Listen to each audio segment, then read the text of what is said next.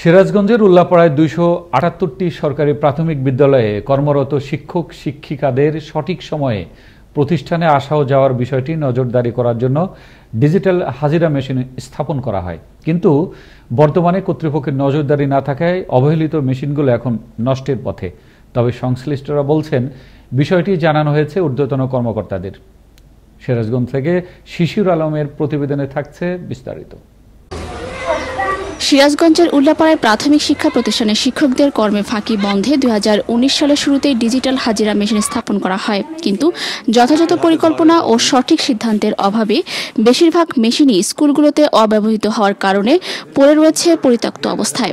আর এতে গচ্চায় যাচ্ছে শিক্ষা প্রতিষ্ঠানের জন্য বরাদ্দকৃত স্লিপ ফান্ডের প্রায় ত্রিশ লাখ টাকা। তৎকালীন সময়ের বাজার মূল্যের চেয়েও দ্বিগুণ মূল্য দেখিয়ে কেনা হয় এ সকল মেশিন। আমরা স্লিপের বরাদ্দ থেকে দশ হাজার সামথিং টাকা কিনেছি এবং সেটা ব্যবহার হচ্ছে কিন্তু সেই ব্যবহারটা কার্যকরী আমরা ব্যবহার করতেছি কিন্তু মনিটরটা ওভাবে হচ্ছে না যেভাবে করা উচিত সেভাবে হচ্ছে না আর কি।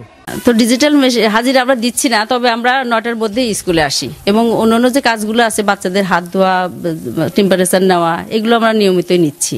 নিচে ক্লাস করি তো চার্জ দিয়ে দিয়ে ভিতরে রেখে দিই ফিঙ্গার দিয়ে। ব্যবহার হয় হয়তো। কর্মে ফাঁকি দেওয়ার প্রবণতা থাকায় মেশিনগুলো ব্যবহার না করায় এখন নষ্টের পথে। তাই প্রতিটি স্কুল প্রধানদের দায়িত্বশীল হওয়ার পরামর্শ সচেতন মহলের। সকল শিক্ষা প্রতিষ্ঠানে ডিজিটাল হাজিরাটা সঠিক ব্যবহার না করার কারণে গণপ্রজাতন্ত্রী বাংলাদেশের একটি বিরাট অঙ্কের অর্থ অপচয় হচ্ছে।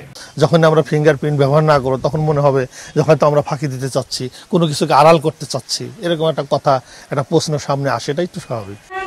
তৎকালীন সময় মেশিনগুলো বাজার মূল্যের চেয়ে বেশি দামে বিক্রি হয়েছে বলে দাবি স্থানীয় এই আইটি উদ্যোক্তার।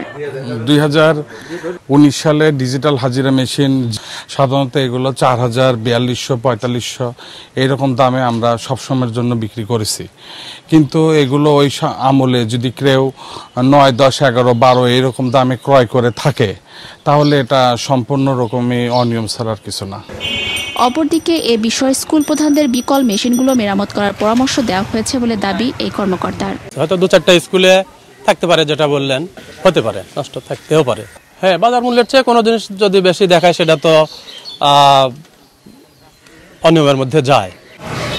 বিষয়টি তদন্ত করে প্রয়োজনীয় ব্যবস্থা গ্রহণের মাধ্যমে শিক্ষাঙ্গন ডিজিটাল করতে ভূমিকা রাখবে সংশ্লিষ্ট কর্তৃপক্ষ। এমনটাই মনে করছেন শিক্ষা অনুরাগীরা। Nayanmoni Ananda TV national desk.